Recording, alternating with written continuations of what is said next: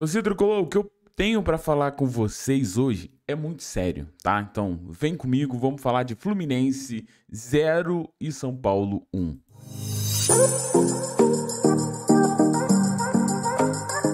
Alô, torcida tricolor, vamos lá falar dessa derrota do Fluminense aí. É, a gente tem muita coisa para conversar aqui, mas antes eu peço gentilmente, né? Ajude o canal, por favor. Sei que a gente tá triste aí com esse momento, mas é o canal Hora do Flu que nunca vai largar o Fluminense, né? Independente do momento que nós é, vamos estar vivendo. Momento bom, momento ruim, a gente vai estar junto aqui. Então se inscreva, venha fazer parte desse canal, por favor, e clique no gostei para ajudar a divulgação desse vídeo. E eu acho que a gente precisa conversar, sabe? Precisa conversar em relação à situação que vive o Fluminense. Mas antes, eu vou deixar essa conversa para o final. Antes eu quero realmente falar do jogo porque essa partida do Fluminense, ela tem muita coisa a ser dita porque o Fluminense mostrou pouca coisa. Thiago, como assim?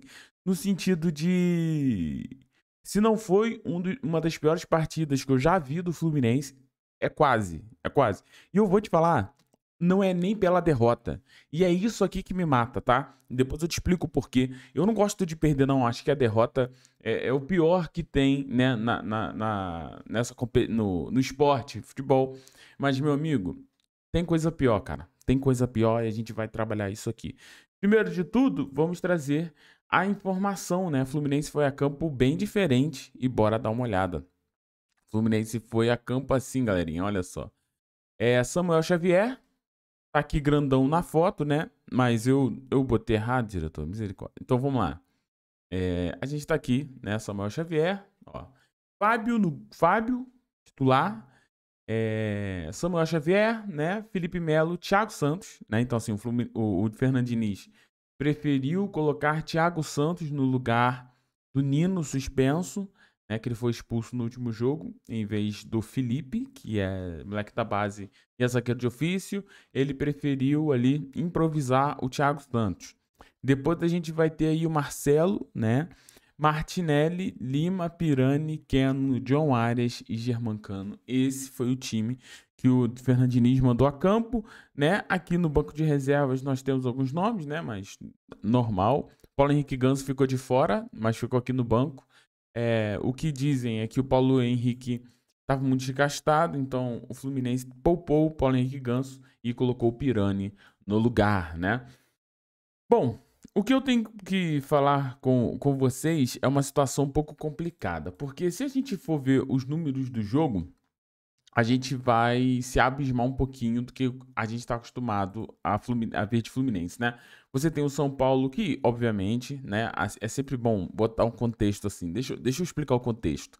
São Paulo, no Morumbi, estádio lotado, um time que vem jogando muito bem. Dorival Júnior chegou no São Paulo e tá arrumadinho o São Paulo. Tá um time muito, tá um time muito coeso, tá um time muito certo, é um grande treinador, numa equipe muito boa, né? E para mim hoje é um dos times aí do Brasil que vem impondo muitas dificuldades. Então assim, uma derrota no Morumbi não é algo anormal sabe? Não é algo assim, meu Deus, acabou o mundo. E não é por isso que a gente vai conversar aqui nesse vídeo.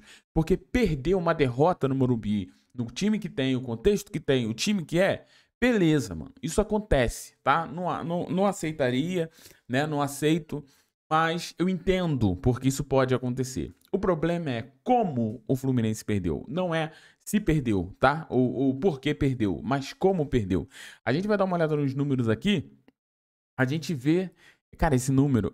Eu, eu, sempre brinco com vocês que nem sempre o número ele demonstra a realidade, né? A gente sempre fala isso aqui. Mas nesse caso, meus amigos, eu vou confessar uma coisa para vocês. Se teve um jogo que os números é, de fato mostraram a realidade, foi nesse jogo aí. Dá uma olhada. O Fluminense chutou apenas quatro vezes no gol do são Paulo e duas vezes no gol. Esse, essas duas vezes foi um chute de Marcelo de fora da área, né? E um chute, uma cabeçada do Thiago Santos num escanteio.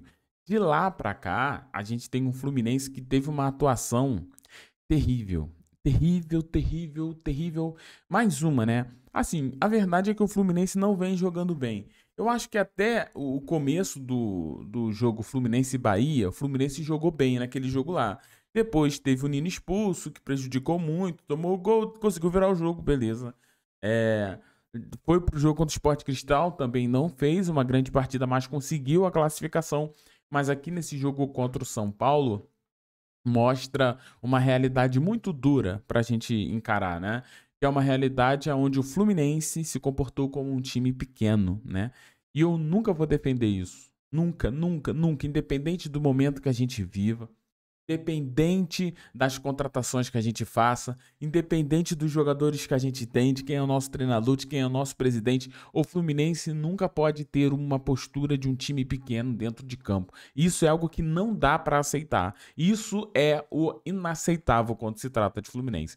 E foi o que a gente viu hoje, meus amigos. A gente viu um Fluminense que jogou como um time pequeno. Só para você ter ideia, eu peguei uma imagem aqui, né, que da, da própria da própria Premiere, né? Peguei uma imagem aqui, né, lá do Twitter do meu amigo Laranja Tricolor, e a gente vai ver que o primeiro tempo do Fluminense. Acompanha comigo aí, gente. Ó, eu, vou tirar meu webcam, que eu tô aqui, tá? No meio, mas dá uma olhada aqui desse lado, você vai ver o campinho do Fluminense no primeiro tempo. Olha aonde foi que o Fluminense manteve a, a maior parte do primeiro tempo. Olha só, dentro da área. Dentro da área adversária, Thiago? Não. Dentro da sua área. Fazendo o quê? Dando toquinho de bola dentro da área. Gente, assim, eu entendo o porquê daquilo ali, tá? É, eu sei que aquilo ali é para atrair o adversário, você conseguir sair em velocidade, vai ter o campo aberto para você fazer a sua jogada. Porém, esse, é, mas esse toquinho de bola, ele não pode ser um toquinho pelo toquinho, ele tem que ter uma intenção. E hoje o Fluminense Tava muito mais jogando ali dentro pro tempo passar. E a sensação que eu tinha do Fluminense que jogou de forma como time pequeno era essa. O Fluminense não foi no Morumbi para vencer o São Paulo. O Fluminense foi ao Morumbi para não perder, e isso ficou muito claro, né? Então você viu um Fluminense ali, coitado, não sabia o que fazer, ficando tocando bola pro Fábio, Fábio driblando e sabe o que é uma coisa desnecessária? Sabe? Assim, poxa, não precisa passar por isso. Briga essa bola no meio. Briga com essa bola no meio, bota seu time para frente, vai jogar futebol. Não fica só fazendo isso. Ah, Thiago, mas isso é o mecanismo que a gente tem. É, tá bom, cara. Tá bom. Mas assim, quando o mecanismo ele tá muito manjado, tem, você tem que ter outras ideias. Você não pode ser escravo da ideia. Você não pode ser escravo da inovação. Você tem que ter várias ideias. Você tem que ser estrategista. Um técnico hoje no Brasil, ele precisa ter várias maneiras de atacar. O técnico no Brasil não pode atacar apenas de uma maneira. Um técnico bom no Brasil não pode eh, defender apenas de uma maneira. Você tem que estudar variações e dentro das variações, dentro daquele jogo, você fazer de forma diferente para poder buscar o gol. Então o Fluminense está escravo desse toquinho e o que foi vergonhoso é que quando a gente foi ver, tem aqui, gente, o Fluminense a maior parte da bola com a bola ficou dentro da sua área. Cara, isso aqui é uma covardia. Mas isso aqui é de uma covardia, assim, que eu não tenho palavras, né? É claro que o Thiago, seu amigo aqui da Hora do Flu, a gente tem muita responsabilidade no que a gente faz aqui, né? A gente tem muita responsabilidade. Então tu não vai me ver dizendo coisas absurdas, né? Mas isso aqui foi muito vergonhoso. Isso aqui foi vergonhoso. O torcedor tricolor que viu isso aqui não ficou envergonhoso, não ficou com vergonha, é complicado. Depois, a gente vai ver um Fluminense no segundo tempo que também não mudou muito, né? Ficou lá atrás esperando um milagre, né? Para poder, quem sabe, fazer alguma coisa. E eu, e eu tenho uma questão com vocês, e essa questão é o seguinte: o Fluminense hoje, é, ele está mal taticamente, isso, culpa do Fernando Diniz. É assim, mal taticamente. Fluminense é um bando em campo. Fluminense não tem variações jogadas. O Fluminense não tem nada, tá? Fluminense está mal tecnicamente com os seus jogadores. Os jogadores do Fluminense não estão acertando nada, tá todo mundo perdido e o Fluminense está mal emocionalmente. Viu o lance do John Ayres no fim do jogo com aquele zagueiro lá do São Paulo, né? Você vê o, o John Ayres arrumando uma confusão, o jogo já tinha acabado, o John Ayres estava mordido. O que, que é aquilo ali? É, é, é um clima ruim. Aí eu, eu quero entrar no mérito de não, não tentar dizer nada em relação à teoria da conspiração. Eu sei o que está acontecendo dentro do Fluminense. Mas, gente, não pode ser normal. alguma coisa está acontecendo, tá? Ou o Fernando Diniz perdeu o elenco, entendeu? Ou o Fernando Diniz perdeu a confiança dos seus jogadores, os jogadores não acreditam mais no, no sistema, o, o, jogador não acredita mais nas ideias do Diniz, então por isso que eles não executam, não conseguem executar, ou a ideia do Diniz, no fim das contas, está se mostrando uma ideia ruim, no qual os jogadores não confiam e não fazem, e, é, e pronto, e acabou tá? E, e, é isso que nós estamos vendo hoje no Fluminense. Um time totalmente sem confiança, sem organização e sem execução não tá dando certo. Gente, nada está dando certo no Fluminense hoje. Nada está dando certo no Fluminense. Aí quando você vai pro mercado, né, para tentar reforçar esse time do Fluminense, que eu acho que esse time sabe? Não é possível que esse time não consegue apresentar o futebol melhor do que vem apresentando. Aí você vai no mercado, você, trata, você traz Ione Gonzalez, você traz Danielzinho, né? Assim, parece que o objetivo é afrontar o torcedor é afrontar o torcedor. Parece que o objetivo é de fato mostrar para o torcedor uma realidade que não foi pregada para nós. O que foi prometido para nós era um time competitivo, o que foi prometido para nós era um time no qual o Fluminense o torcedor poderia se orgulhar, e hoje o que eu vejo dentro do campo, hoje o que eu olho dentro do Fluminense não me traz orgulho. O que eu olho dentro de campo hoje me traz é, com o coração partido em vir aqui expor que não existe mais nada no Fluminense. O Fluminense hoje, por exemplo, não conseguiu apresentar uma jogada. Então, assim, não existe nada. A sensação que eu tenho é que o Fluminense era uma estátua de porcelana e alguém veio com o seu martelo e quebrou. E a gente está tentando loucamente tentar juntar os cacos, mas não está dando certo. Tiagão, o que, que tu quer dizer com isso? Eu quero dizer que existe muita assim, existe uma loucura muito grande que rola dentro do Fluminense. Aqui eu não tô falando de confusão. Aqui eu não tô falando de Marcelo. Aqui eu não tô falando de Felipe Melo. Aqui eu não tô falando de Mário. Aqui eu não tô falando de ninguém. O que eu quero dizer é o seguinte: não está normal algo dentro do Fluminense. E isso precisa ser resolvido urgentemente.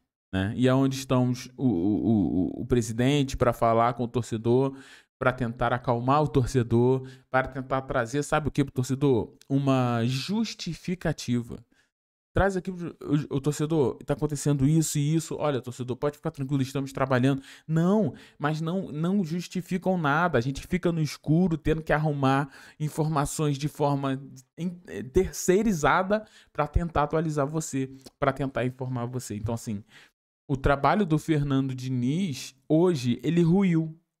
Hoje ele ruiu. Por quê que eu acho isso? Porque ele, ele improvisou o Thiago Santos sem necessidade né, deixou o menino na base no banco.